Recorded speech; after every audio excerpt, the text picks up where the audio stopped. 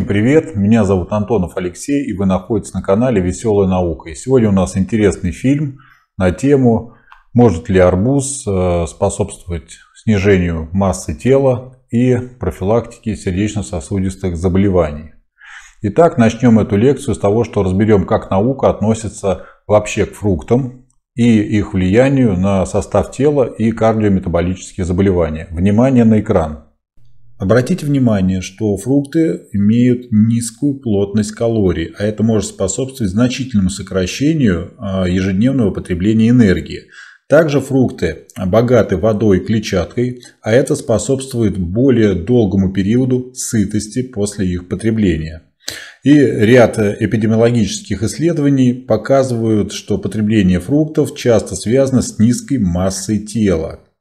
В 2016 году выходит большой метаанализ, который включает 334 тысячи участников и выводы. Настоящий метаанализ показывает, что потребление фруктов может быть обратно связано с риском гипертонии. Но вот мы видим, что наука положительно относится к тому, что потребление фруктов э, способствует снижению массы тела и профилактике сердечно-сосудистых заболеваний. А вот конкретно арбуз может э, как-то влиять на состав тела и кардиометаболические заболевания? Давайте обратимся опять к науке. Внимание на экран.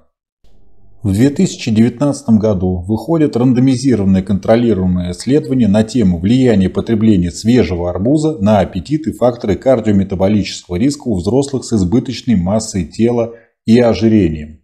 Дизайн исследования. Взрослые с избыточным весом и ожирением 20 мужчин, 13 женщин в возрасте от 18 до 55 лет были случайным образом рандомизированы на две группы. Первая группа основная, которая потребляла 92 килокалории арбуза вместо одного перекуса. И вторая контрольная группа, которая потребляла 92 калории ванильного печенья. Участникам измеряли реакцию на аппетит, уровень физической активности, ежедневное потребление калорий, осуществлялся забор крови на концентрацию глюкозы, инсулина, гормонов, регулирующий аппетит, а также С-реактивный белок и липидный профиль.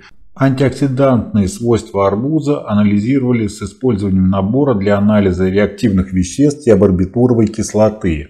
Жировые отложения оценивались с помощью денситометрии. Выводы. В заключение, арбуз способствовал большему насыщению, чем печенье в течение 90 минут после употребления. Кроме того, 4 недели потребления арбуза снижали массу тела и кровяное давление, улучшая липидный профиль и э, антиоксидантный статус. Эти результаты показывают, что свежий арбуз, когда он употребляется вместо обычных рафинированных углеводов, может помочь снизить аппетит и помочь в регулировании веса при одновременном снижении факторов риска сердечно-сосудистых заболеваний. Еще одним интересным фактом будет то, что арбуз содержит э, такие аминокислоты, как L-аргинин и L-цитрулин, которые способствуют гипотензивному эффекту и могут быть полезными для людей, которые страдают от реальной гипертонии. Ну вот мы видим, что исследование 2019 года поддерживает мнение о том, что арбуз может способствовать снижению массы тела и профилактике кардиометаболических заболеваний. Мы должны понимать, что такое 100 килокалорий арбуза. Это 350-400 грамм продуктов. И, например, когда мы включаем э, такой перекус между обедом и ужином, и э, этот продукт положительно влияет на уровень сытости, вы должны понимать, что на ужин вы съедите меньше калорий. А если вы на ужин съедите меньше калорий, соответственно, вы снизите массу тела. А если вы снизите массу тела, вы улучшите свои кардиометаболические показатели. Поэтому арбуз является хорошим и полезным продуктом для снижения массы тела и профилактики сердечно-сосудистых заболеваний.